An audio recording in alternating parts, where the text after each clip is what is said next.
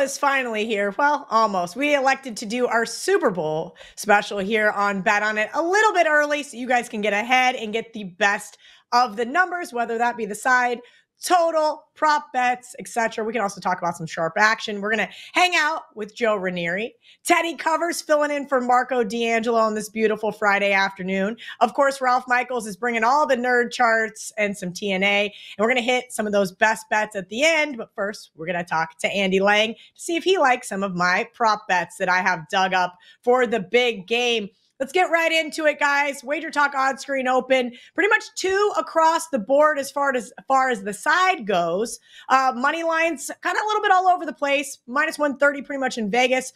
DraftKings plus 120 on the Chiefs. We'll see how that one pans out over the next week or so. Teddy Covers, welcome in. Appreciate you. Long time no see at Teddy underscore covers on X. If you guys want to give him a follow, tons of great content every day on the Wager Talk YouTube channel. Unfortunately, he has to hang out with Prez, but Wager Talk today, great programming from his standpoint. Teddy, welcome in. Yeah, what are you going to do? You know, Prez is the coach. Yeah. You get Joe to hang out with every week, and Ralph, I I get to hang out with Prez every day. So, uh, dirty job. Someone's got to do it. Round not, it's not me. exactly yeah, yeah. If we were drafting, you would not have been the first choice. That being said, it is. No. I'll, I'll give credit to Prez because so many of these shows are dry. You know, dry, just dry. And Prez is not a dry guy. It's an entertaining show, and when you can mix some sports betting and keep it light and entertaining, I, I think people are into it. So I love doing it every day, uh, each and every weekday morning, 9 a.m. Pacific time, noon back east, live on Wager Talk TV. Yeah, it is uh, absolute riot. I've tuned in a couple times and been like, okay, where is the FCC like dump button? We need a dump button for this show. Uh, but it's always very humorous, and uh, somehow you have not killed him yet after what four years of doing the show daily. So I'm very proud of you, Teddy. But let's get into the Super Bowl in your backyard there in Las Vegas. I know you cannot wait to shell out nine grand to go to the game. But you have an interesting thought here on, uh, well, the side as well as the total, which we'll get into later. And I didn't really think about this one um, in terms of that because I've always been told not to do this. Yeah, and really, frankly, it's it's anti wise guy. Uh, what I'm doing here, we talk about teasing tide and total in the Super Bowl. I get it. That being said, one of the two to me was very obvious. All right, uh, we'll talk about total in a minute. Right here, I'm going to talk about the side and I'm teasing Kansas City through the key numbers. We all know what we want to do with teaser strategy. Get across the key numbers of three, four, six, and seven. You can tease on a six point teaser at Kansas City from plus two up to plus eight. And I'm not going to overthink this. You know, one of one of my biggest weaknesses as a handicapper is I overthink things. This is not an overthink situation. All right. I don't expect the defending Super Bowl champs to get pushed around. All right. It has a much like last year's game. This is, feels like another one possession affair. We know Patrick Mahomes' track record is an underdog 10 1 and 1 against the spread in 12 previous tries in his career. And the lone loss for Patrick Mahomes as an underdog is worth noting. They were plus two and a half slash plus three. They lost the game by four. All right. So it's not like they lose contact very often with Patrick Mahomes behind center. KC lost six games this season. Exactly one of those six losses came by more than eight points. And you remember that game, Kelly? It was a, that weird game at Denver uh, back in October. That's the only time all year they lost by more than eight points. Chiefs have made the playoffs nine times the last 10 years under Andy Reid. They've won two Super Bowls, which means they've suffered seven playoff defeats. Exactly one of those seven playoff defeats came by more than a touchdown. We're talking about an elite defense, a defense that allowed more than 21 only three times all year, never more than 27 in any game. From a defensive perspective, San Fran might have the great full season numbers, they didn't play their best down the stretch. Obviously, the two playoff games against Detroit and Green Bay, that defense got pushed around. So we have a Chiefs team that doesn't lose contact. They don't fail by margin very often. Teasing the defending champs through those key numbers, in my mind, is a positive expectation strategy in a game they're live to win. Kelly? Yeah, Teddy, I, I don't hate that at all, as a matter of fact, because I am still so conflicted in this game. Joe Raineri the Niners defense, as Teddy Cover said, yeah, they got a first round bye, but against the Packers, abysmal. Just I, they didn't deserve to win that game. And uh, Niners fans can get mad at me all they want. I know because I bet the Niners in that game and uh, was just really disappointing. Brock Purdy, great fourth quarter by him. On the flip side, uh, you and I both were cheering for the Ravens uh, for my Super Bowl ticket last Sunday. And lo and behold, you are supposed to run the ball against the Kansas City defense because that's their one Achilles heel, and nobody ran the ball against them. If the Niners' game plan isn't to run the ball, I want no part of the Niners. I also know mm. that the Chiefs are going to be one of the more public dogs we've seen in the Super Bowl since, well, they played Tom Brady and the Bucs. Help me decide here. Uh, maybe it is just best for me to stay away and, and bet some prop bets how I see this game correlated. I, I listen. I'm with you. I think this is it's a coin flip for a reason. It wouldn't shock me if this thing gets inching closer and closer to a pick 'em by the time we get to uh by the time we get to the kickoff. And we've talked about it on the show, Cal, a couple of uh last couple of weeks. Uh we talked about it on, you know, X. Uh I don't know how to quantify experience. I don't know how to quantify having been there and done that. Uh, but it was quite obvious uh, just last week watching Baltimore and Kansas City. There was one team that looked like they had been there and done that before, and there was another team that looked like a deer caught in the headlights. I don't know how much that's worth. I don't know how we put that into numbers, but there is no doubt to me that this Kansas City Chiefs team has that it factor, which makes it very difficult to pull the trigger one way uh, or the other. But I will say this because I think it's fascinating what you said about the 49ers defensive front. That defensive front uh, has not been doing a good job, especially over the last couple of games, right? The defensive line, they haven't played anywhere near what the talent level is on that defensive front. If they don't control the line of scrimmage, which, by the way, at, at many points in that Green Bay and Detroit game, they didn't, uh, then they're going to be in for a long day because even when they got Jared Goff off his mark one way or the other, if you do that to Mahomes, he's even more dangerous than anything Goff was capable of doing. So I don't, they're not a big blitzing team. That front of the 49ers, uh, without leaving themselves exposed in the secondary, they've got to own that line of scrimmage. If you think they can, uh, then I think uh, yes, the the Chiefs could be in for a little bit of a long afternoon. But ultimately, with the Chiefs, they made that switch in December. In fact, I think it was Christmas. Uh, that last loss that they had there, where Andy Reid took a step back and he's like, "All right, we we are not the Chiefs of all. Tyreek Hill ain't walking through that door. I mean, there's only so many passes we can watch being dropped here. They went to a much more balanced approach from that point on. Pacheco became a huge part. Uh, the running game became a huge part. And basically, they said the three best guys on this offense Pacheco, Kelce, and Mahomes that's who we're going to rely upon here. They're not going to be one dimensional. They're not going to throw it 40 times a game. And it's worked. Uh, so they've become a little different version of the Chiefs team that we have seen. Uh, having said that, I just think put it together. There is more talent on this 49ers team. And if that talent comes together here for the best game of the season, I still think they're capable of beating the Kansas City Chiefs, even with that experience, even with that coach, even with that quarterback. Uh, to me, it would be 49ers or pass from a side. But uh, like you said, it's I don't love either way here. It's a truly tough game to pick from a side perspective.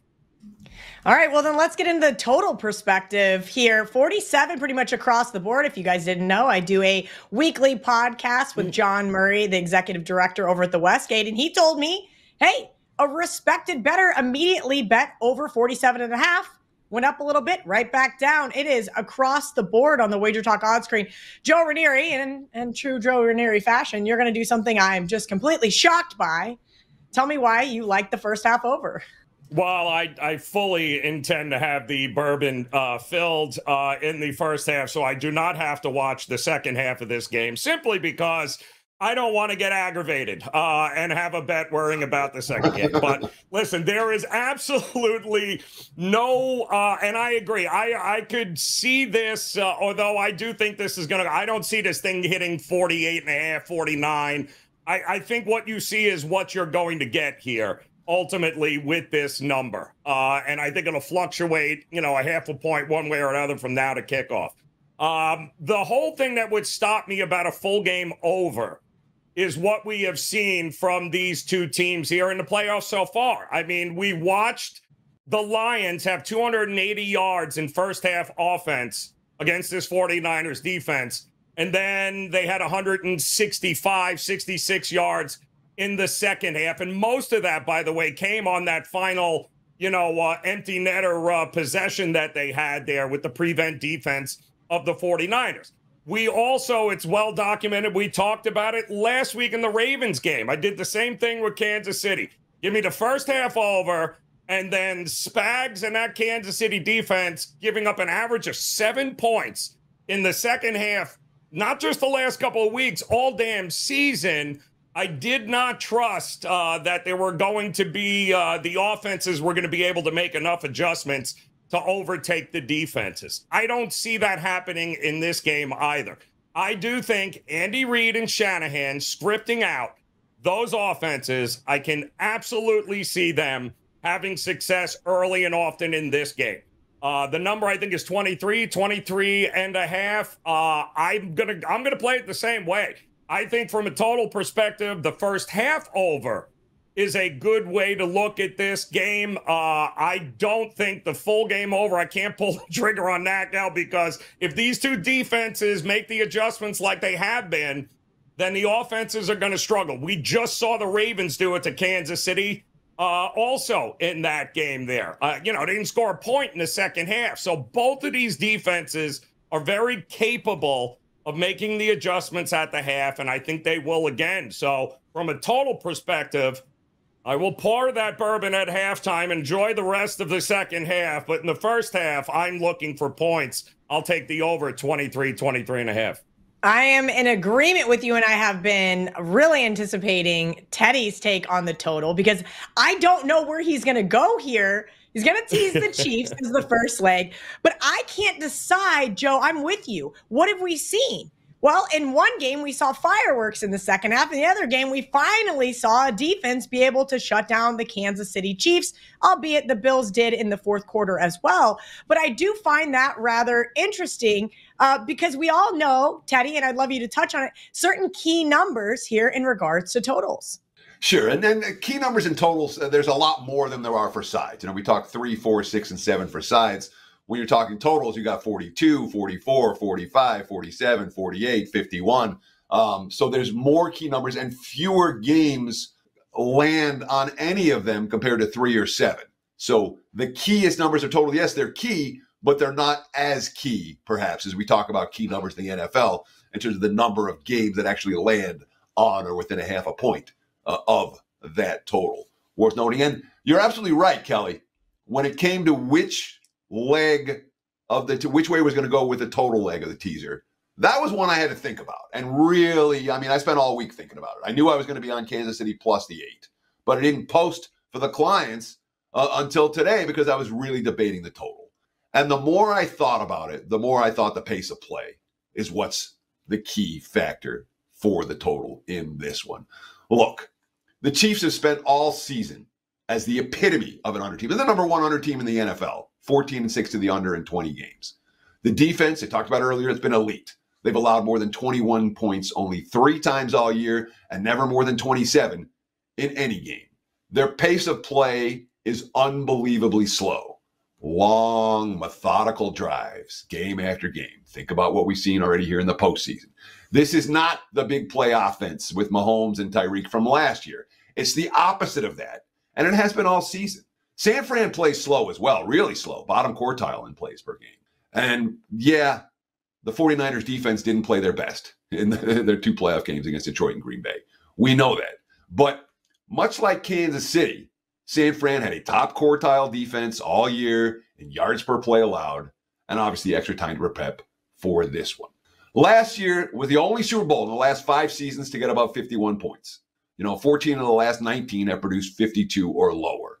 You can tease this, even if you see touchdowns in these games. And uh, but let's not forget, both teams well above average at forcing field goals from red zone opportunities. But even if we see touchdowns, I think it's going to be a low possession, slow pace type of ball game, fewer drives, and that sets the stage for a relatively low scoring affair. So I teased Kansas City to plus eight, and I teased it with the under 53 and a half. Yeah, I think that's the way to go, Teddy. Looks like uh, Chiefs to the under. If I was to join you on that teaser, would be for me. All right, I'm going to kick these two out of here. I know Teddy's had his glasses on all show, but you know what these mean. It's time for some TNA with Ralph Michaels. I didn't expect to see Ralph Gorbachev on the other side of the screen. Ralph, I hope you're okay. That looks like that one might have hurt a little bit. Well, Kelly, I'll tell you what if you go down to the Caribbean and you're on one of those boats and you decide to have a little battle, the boat versus your head, the boat usually wins. How many adult beverages? Over under six and a half. I am so embarrassed to say I was sober. It was 9 a.m. I wish it were a different reason, but that wasn't the reason.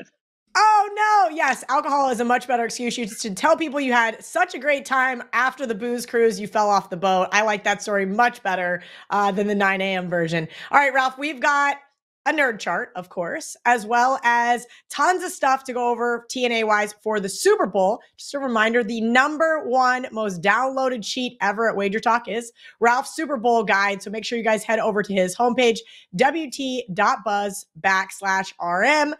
Super Bowl prop results in the last 14 years, Ralph. Let's break it down.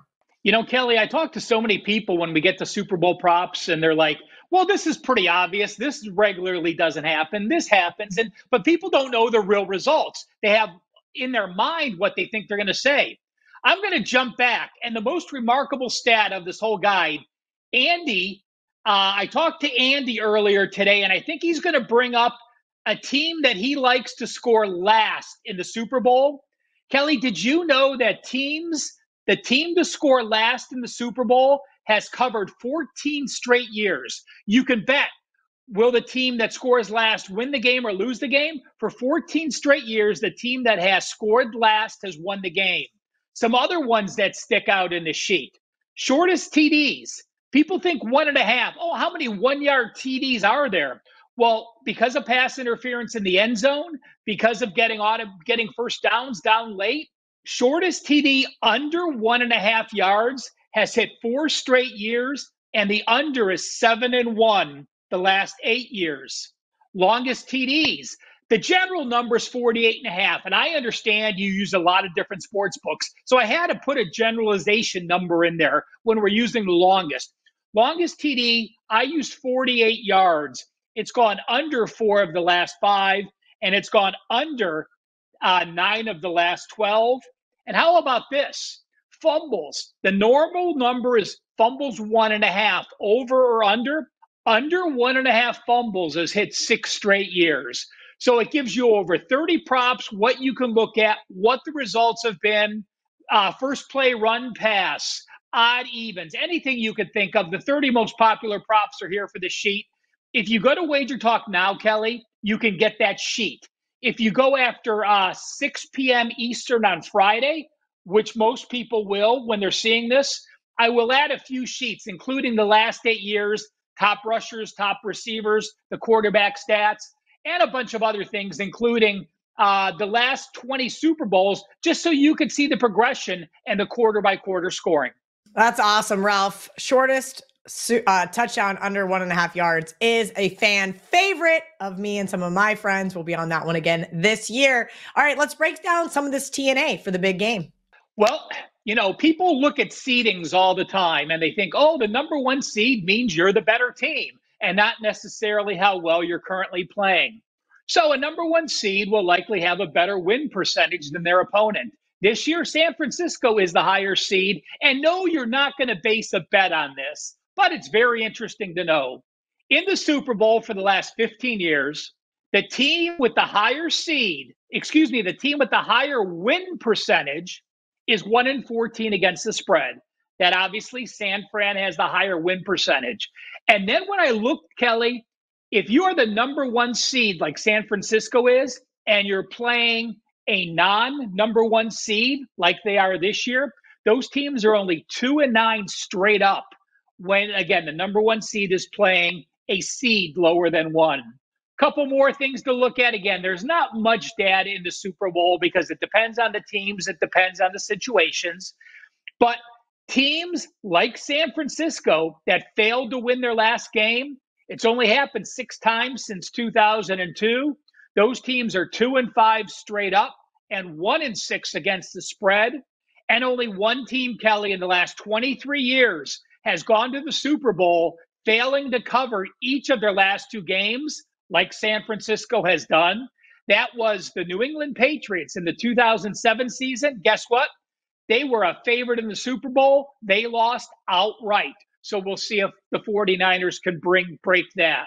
How about favorites and dogs in the Super Bowl? It's been pretty 50-50, but when you look at Super Bowl favorites of two or more, those teams the last 18 seasons have gone 5 and 13, 27.8% against the spread. So the dogs obviously have done very well. The Chiefs, back to back road wins, going back to the Super Bowl since 2000. How many Super Bowl teams won back to back road games to get to the Super Bowl? Well, there's been seven. Guess what? Those teams like Kansas City, a perfect 7 and 0 against the spread. And this one shocked me. When I looked at the Super Bowl winner for the first three quarters of the game, the average score after three quarters was 18.2 to 17.1, a 1.1 edge for the first three quarters. In the fourth quarter, the average score for the winner 11.4 to 2.8. And how about this? In the last eight Super Bowls, the winner has gotten outscored 71 to 52 in the second quarter. So, what I'm saying is this if you think you have the better team and they get down in the second quarter or they're down at halftime, don't fret. That has been the history of Super Bowls. Again, I'll load the data up into the guide later today. There'll be some more information there. For example, one more thing I'm going to throw up there. How many Super Bowl winners trailed after three quarters? Well, if I look at the last 12 Super Bowls, only four teams have trailed in the first quarter that won the game. Patriots in 2001, Steelers in 2005, Colts in 2006, Saints in 2009. So no Super Bowl winner since 2009 has actually been down after one quarter. A lot of data to look at, not in the much, not a ton of helpfulness because each game is unique, but at least you will be completely informed when you make your defi- final Super Bowl decisions. That's why Ralph's the best, the king of the database at Cal Sports LV over on X at Ralph Michaels WT on Instagram. I'm trying to keep your page alive, Ralph. I will make sure to post this chart over there. Just drop it in my Slack. All right, we're going to kick it over to Andy Lang because we've got some prop bets to discuss. And there he is, the prop prince here on Bet On It for, well, the last Bet On It show for the football season. Andy Lang, we made it. We have had a very profitable one. I had a uh, really nice prop bet I wanted to ask you about. And then before we went on, Andy goes, Yeah, Kel, that's my 4%. And I'm like, Aha, that must have been where I got that one from. Uh, didn't think of that one myself, but I. I think I did in, in a roundabout way, discussing the game and, and how I thought the game plan would go. But I digress. Andy Lang, we have a few interesting prop bets you want to go over, and then I have a few questions for you.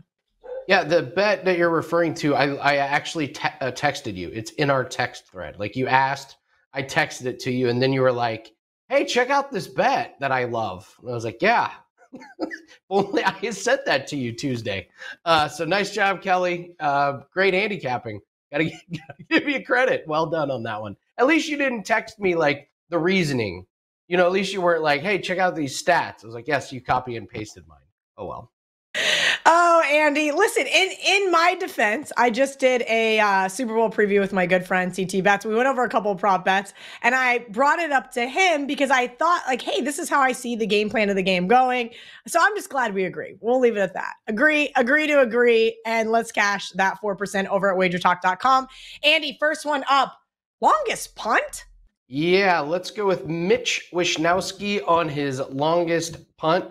Uh, go ahead and try and pronounce that word three times in a row or try and do it after a, a night of adult beverages.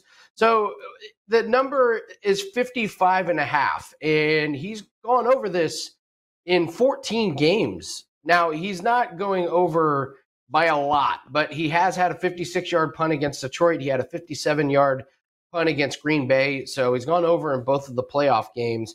And he's got several games with a 60 plus yard punt. He had a 61 yarder against the Rams.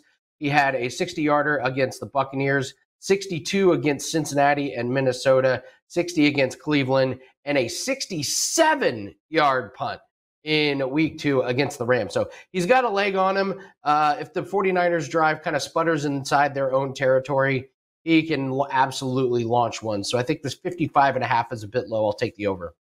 All right, let's talk about game plan because I do think um, when you're looking for prop bets, which our friends at the Superbook put out 42 pages of. Um, so I, I kind of thought, okay, this is how I see the game plan going. I don't think there's a ton of value on the side or total personally. So I plan on getting involved in a lot of prop bets. But you like the Kansas City Chiefs to score last. Why is that? Well, this is a play basically based on how good the Kansas City Chiefs defense has been in the playoffs in the second half. They've allowed 10 points combined in the three games. So they make an incredible halftime adjustments. So if you're going on the premise that the Chiefs are going to have another good second half defensively, and why wouldn't they? They've had really good defensive games against uh, the Buffalo Bills the Miami Dolphins, and uh, in their last game, they you know against the Ravens, it, it couldn't have been better. Um, I don't know. I'm just looking at this Kansas City Chiefs team. I've been a believer in their defense from the very beginning of the season. I loved their unders. I love playing the other team's team total under. So uh, any anything that I can do to support this Kansas City Chiefs defense, uh, I'm all aboard. So it's a really really good price. If they hold firm and play great defense again, I think there's a chance there's only a couple scores in the second half. So the odds are with us that the Chiefs are going to be one of them.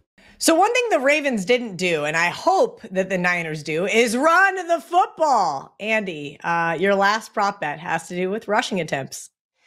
Yeah, let's take a look at 49ers over under four and a half players with a rush attempt. I'm going to sprinkle a little bit on the over. This play hit last week. So when we're looking at the 49ers, uh, you've obviously got Christian McCaffrey. We know he's going to get there. Brock Purdy has been running the ball, and any kneel downs count. So you, so you know Brock Purdy is going to get there. Um, Elijah Mitchell came in and had a few carries when uh, Christian McCaffrey was banged up or just needed a breather. So I got to believe he's going to get at least one. Kyle Juszczyk got a carry. They normally try and figure out a play or two to get him involved, whether it's passing or whether it's receiving. And then Deebo Samuel is healthy. He had a couple of rush attempts. They had five players get a rush attempt last week. So I think there's some value on this one. It's even money. So all five of those guys get a rush attempt and we'll cash this one. I like this play a lot. All right, three prop bets from Andy Lang. Andy, what do you have over at Wager Talk besides your 4% best bet for the Super Bowl?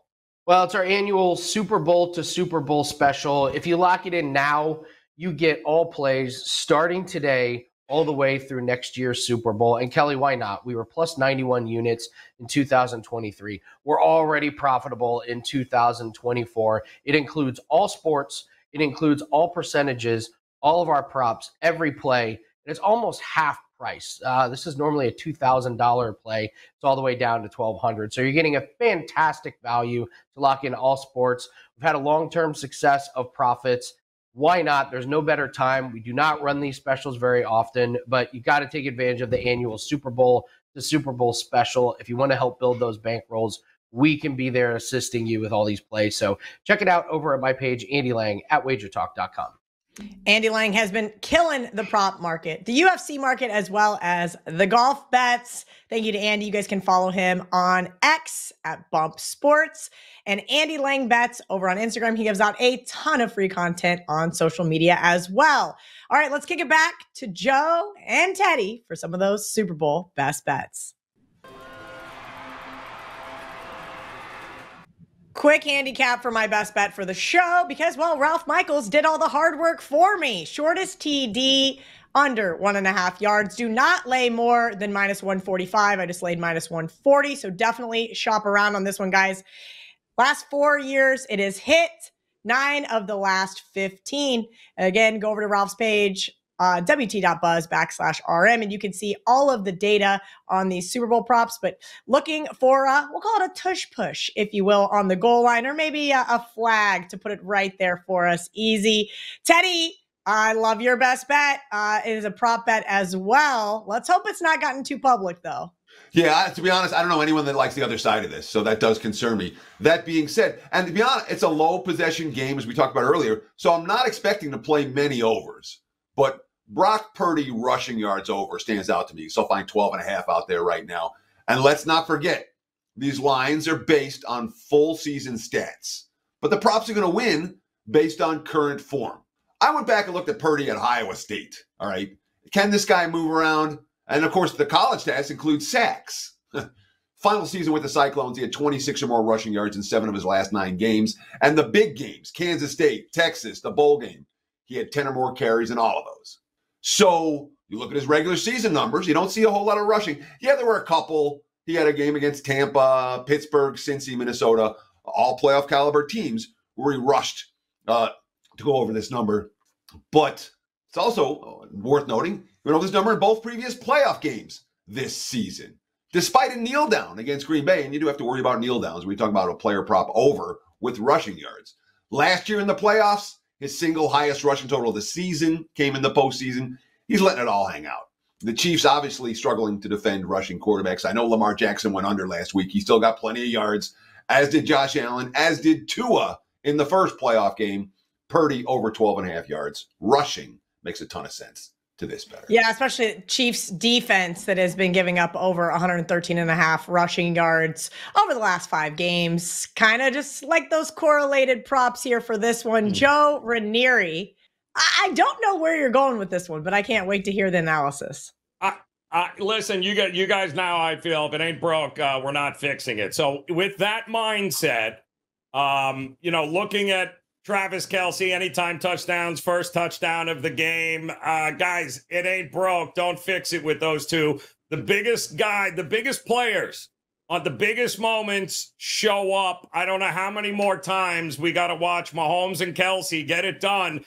Very reminiscent of a la Brady and Gronk uh, for all those years. Well, we ain't getting rid of uh, you know who there, Miss Swift or uh, Travis Kelce anytime soon. There will be a number of uh, shots on the television after he scores a touchdown of her celebrating in the box. I am absolutely sure. But I still think uh, both offenses will have success early in this game. I think the adjustments will be made. So if it ain't broke, don't fix it. Give me points in the first half, and I will be absolutely looking to jump in on an under in that second half when it's all said and done here, and uh, not expecting a whole lot of craziness in the second half.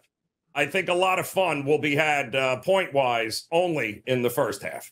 Joe, Joe, Joe, I wanted to get through an entire show without having to hear her name. anyway, we made it. This is the last bet on the episode. I don't have to talk about Taylor Swift for like seven months after next Sunday. Mm-hmm. Thank you guys for hanging out with us all football season. We adore you. Cheers to Teddy for filling in for Marco. He sends his love, and I will ask him if he will please put out a video for his best bet for the show for the Super Bowl. As you can see, there's our wonderful graphics team. One last time. Again, thank you from myself. Teddy Covers, Joe Raineri, Marco D'Angelo, Yanni Corrales, aka VR, and Ralph and Andy. And uh, let's see, Las Vegas Chris, who filled in for us there a little bit during the season. You guys, it has been a real treat. I hope you make a ton of money on the Super Bowl, and we cannot wait to see you next football season.